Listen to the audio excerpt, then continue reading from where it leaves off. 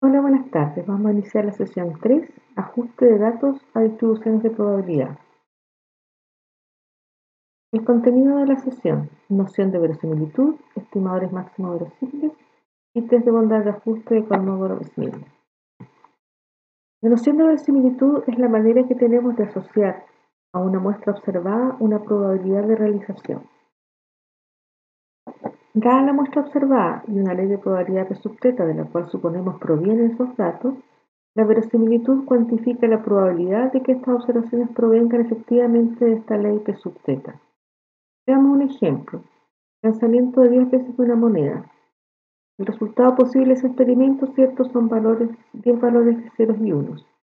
Podría ser, por ejemplo, como en, lo que está escrito ahí, 6 caras y 4 sellos.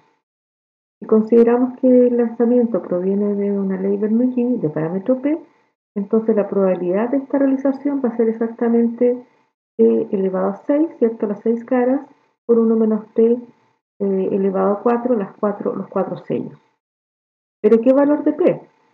Veamos algunos valores para esta probabilidad conjunta, eh, considerando distintos valores del parámetro P podemos ver, ¿cierto?, que para el parámetro P igual 0,6 esa probabilidad es máxima, 1,2 por 10 elevado a menos 3. Es natural entonces seleccionar como valor estimado de P aquel para el cual la probabilidad de la muestra observada eh, es la mayor posible, en este caso P igual 0,6. Eh, si nosotros consideramos muestras de tamaño mayor, tamaño n, por ejemplo, y siempre con la condición de que el 60% sean caras el 40% sellos, entonces la, si graficamos esta probabilidad conjunta, eh, podemos ver en la figura, ¿cierto?, que siempre eh, la probabilidad máxima se alcanza cuando el parámetro P vale 0.6, ¿ya? Independiente del tamaño de la muestra. Incluso es más abusado esta función P, eh, esta función, digamos, conjunta, cuando n es mayor.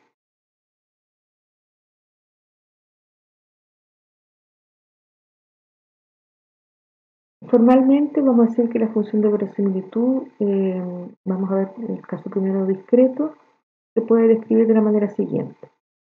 Se hace el conjunto finito numerable de valores posibles de una variable aleatoria discreta y P sub una familia de leyes de probabilidad sobre este C y N un entero.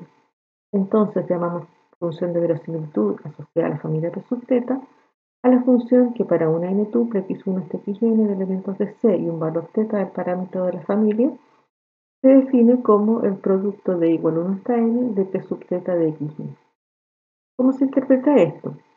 Si consideramos las variables aleatorias x1 hasta xn, una, una muestra teórica de x1 hasta xn distribuida según p de θ, eh, por definición, estas variables van a ser independientes de la misma ley P sub teta y por lo tanto la probabilidad de que esta muestra teórica tenga por realización la muestra observada x sub 1 hasta x sub n minúscula es exactamente el producto de las probabilidades de que cada x sub i tome el valor x y, o sea, la función de verosimilitud que acabamos de describir. ¿Qué ocurre en el caso continuo? En el caso continuo vamos a reemplazar entonces eh, las probabilidades P sub teta por la función de densidad de la, de la distribución de probabilidad, ¿cierto? Asociada a la, la variable aleatoria continua. Eh, llamamos en este caso entonces verosimilitud a la asociada a la familia P sub teta a la función que para un n tuple x sub 1 hasta x sub n de elementos NR y un valor teta del parámetro se define como el producto de igual 1 hasta n de los f, f de teta de X y la densidad. Pero ¿cómo interpretamos esto? Porque en el caso de los variables continuos, La, eh, la, probabilidad de, obtener eh, de tener un valor dado, ¿cierto? De la variable aleatoria es, nulo, la probabilidad puntual. Entonces la interpretación es como sigue. Eh, consideremos una muestra teórica x1 hasta, hasta x sub de la ley continua p de teta y epsilon, un número real estrictamente positivo, pequeño.